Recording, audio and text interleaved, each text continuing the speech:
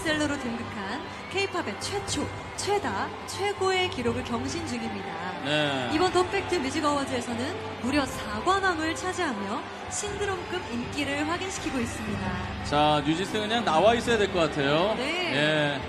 벌써 4관왕입니다. 너무너무 축하드려요.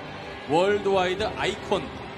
전 세계 아이콘이란 얘기죠? 그렇죠. 예. 저기 잔뜩 보이네요. 좋습니다. 자, 인사 부탁드립니다. 예, 인사드리겠습니다. 둘, 셋. 안녕하세요. 뉴진스입니다.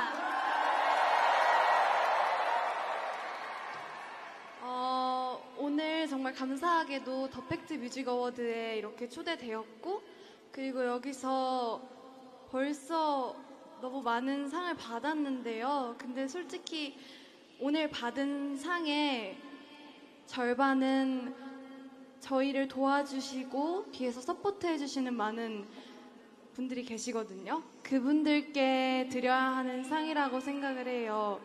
어, 왜냐하면 어, 뭔가 이렇게 상을 받으려면 완성도 높은 작업물이 있어야 한다고 생각하는데 늘 저희에게 정말 애정을 갖고 밤낮 없이 일하시면서 뭐 예를 들면 저희 퍼디님은 어떻게 하면 우리 멤버들한테 멋진 퍼포먼스를 하게 할 수 있을까라고 생각하시면서 늘 하시거든요. 그리고 스타일리스트 분도 어떻게 하면 뉴진스가 제일 멋지게 입을 수 있을까라고 생각하면서 입혀주시는데 이런 감사한 분들이 있기 때문에 받을 수 있는 상이라고 생각해요.